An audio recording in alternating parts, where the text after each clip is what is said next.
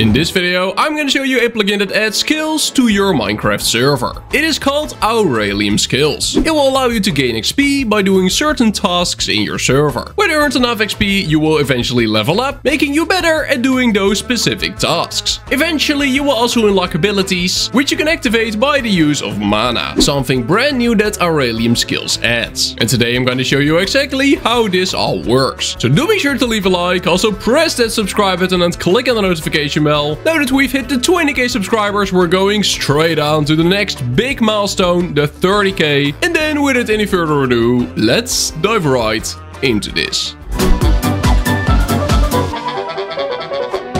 So the first thing you want to do is download Aurelium Skills from Spigot MC. A link to this page will be in the description, so simply click on download now, wait for a little bit and there you go. After that simply drag Aurelium Skills into your plugins folder and restart your Minecraft server. And after that you're ready to go. So Aurelium Skills is now successfully installed and I will now be able to gain experience by doing certain tasks. So by executing the command slash skills you will actually see all the different tasks available. So we got farming, foraging, mining, fishing, excavation, archery, defense, fighting, endurance, agility, alchemy, enchanting, sorcery, healing, and last but not least, forging. Now the way you level up these abilities will be displayed on top. So over here we got fighting, fight mobs with melee weapons to earn fighting XP. Or mining, mine stone or ores to earn mining XP. Cut trees to earn foraging XP. Take damage from entities to earn defense XP. Enchant item and books to earn enchanting XP. Use mana abilities to earn sorcery XP. And the list goes on. So now I can start leveling up by doing certain tasks. So when I start digging the ground with a shovel, you can see that excavation is going up. I'm slowly gaining more and more XP. Now by killing mobs, I will also gain XP. So my fighting ability is now slowly going up. Mining blocks will also give me XP. So here we go. I'm mining stone and I'm slowly gaining XP. So I'm just gonna mine for a little more. And in a second, you will see I'm leveling up.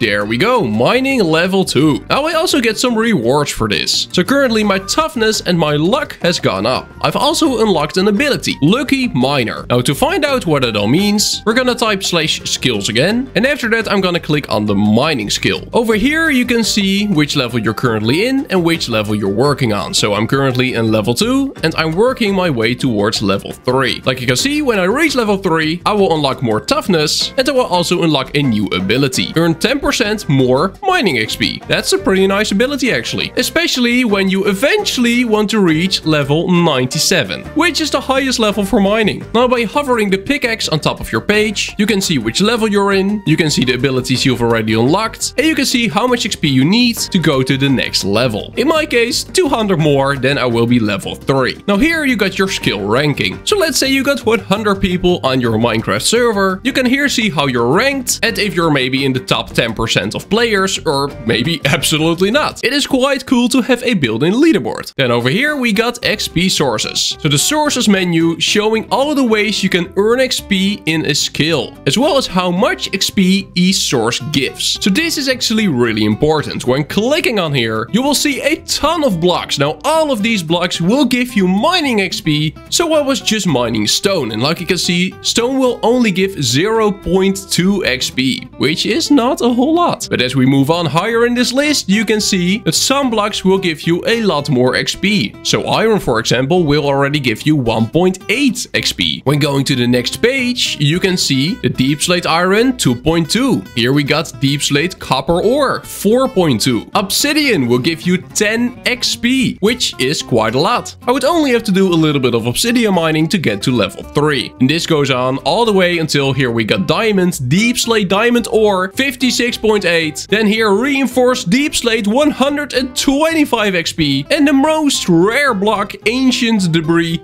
500 XP. So ancient debris mining is for sure the best thing you can do to level up. Now very good to know is that this plugin prevents you from placing blocks, breaking them and getting more XP that way. So it's not like if you got 10 obsidian in your inventory, you can just place it down and continuously break it to get yourself in a really high level really fast. This plugin actually prevents that, which is awesome. That's how it should be. Now back on the mining page, here we got abilities. So abilities are passive perks you unlock and upgrade as you level up your skills. But there are also mana abilities. So mana abilities are special type of ability that requires activation and consumes mana. So when we click on abilities, you can see what all the abilities are. So for mining, we got Lucky Miner, which will give you a higher chance of getting a double drop from an ore. Then we got Miner, earn 10% more mining XP. We got Pickmaster, deal 3% more damage with a pickaxe. Stamina grants 1% toughness while holding a pickaxe. In other words, people and mobs will be less likely to kill you when you're holding a pickaxe. You will be tougher. Then hardened armor. A 3% chance to negate durability damage on armor. And then last but not least, the mining ability. Gives haste 10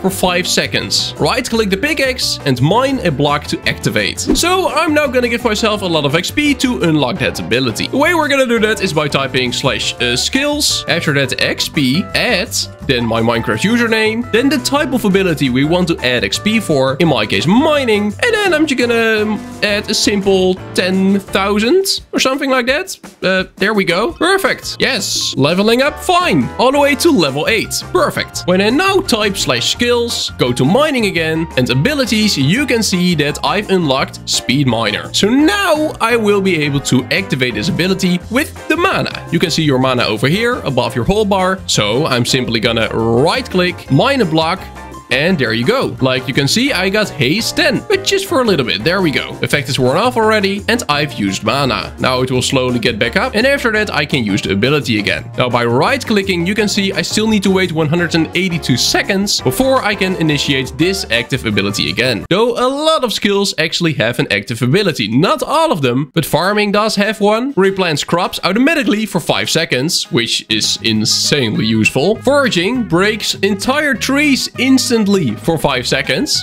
That's epic. Deal 0.5 damage to a hooked enemy when left clicking with a fishing rod. That's quite an interesting ability actually. I didn't know this was the ability for fishing. That's cool. This way there are a lot more out there. Now also good to know is what stats you can level up by leveling up your skills. So here inside of your skills menu, when you hover fighting for example, you can see the stats leveled. Strength and regeneration. Now for foraging this is strength and toughness. For enchanting it is wisdom and luck. Now if you want to know what all of these stats do, you can click on your profile here in the top right. So I'm gonna click on my head and here you can see all of your abilities. So we got health. Health increases the amount of HP you have, allowing you to last longer in fights. Now these are the skills you need to improve to get more health. So fishing, alchemy, healing, defense and farming. Then we got regeneration. Increases how fast you recover both health and mana. Then we got luck. Increases your chance to get more rare loot from mobs, fishing and more. Then wisdom. Wisdom increases your max mana, increases experience gain,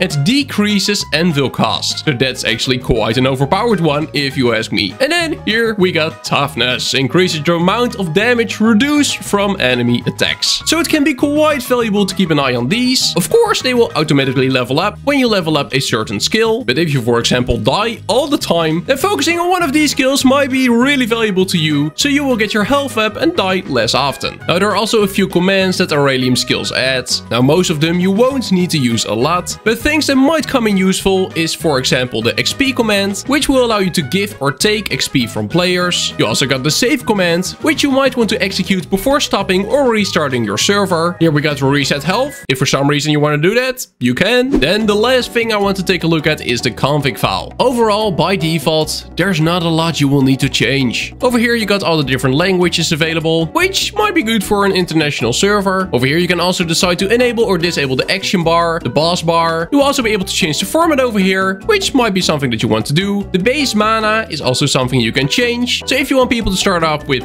zero, then you can do that. Also, the update period for the leaderboard you can change. Also, do you want the skills to be disabled in creative mode, true or false? And this one might be pretty cool. Reset skills on death. You could make a hardcore server this way, which would be awesome. I could totally see someone use that option. Now, autosave, this is actually something something you might want to turn on, as I've had problems with this on my own server. When my own Minecraft server crashed one time, some people lost more than 8 hours of progress because it didn't automatically save. Now, if you shut down your server, then it will save for you. But if it crashes, it won't have time to save and your players will lose progress. So make sure to tick this on, put it to something like every 5 or 10 minutes. It will make sure that if a crash happens, people won't lose much of their progress. And then guys, that's gonna be it for today. This plugin is absolutely awesome and I find it amazing that it is pretty much plug and play. Drag it into your plugins folder, restart your server and you're pretty much good to go. You might want to tweak some things, but not a lot of tweaking is actually necessary. Hello sheep, what's up? I know.